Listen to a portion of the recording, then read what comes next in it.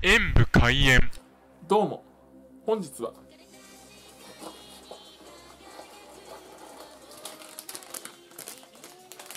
じゃあファミリーマートの花畑牧場リコッタチーズのレアチーズタルトを食べたいと思います。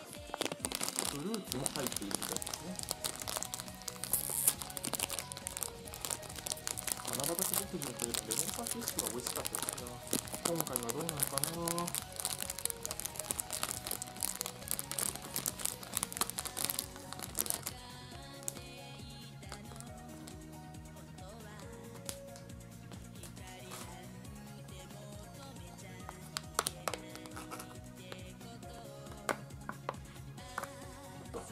ではいただきます。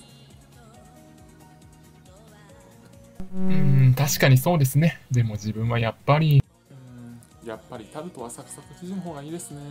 でも中に入っているレアチーズクリームとフルーツの酸味はしっかり効いていてまろやかに口の中に広がってとっても美味しかったです。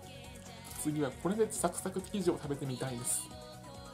ご視聴ありがとうございました。コメントしていただけると嬉しいです。パソコンおよびスマートフォンのアプリの方はクリックをお願いします。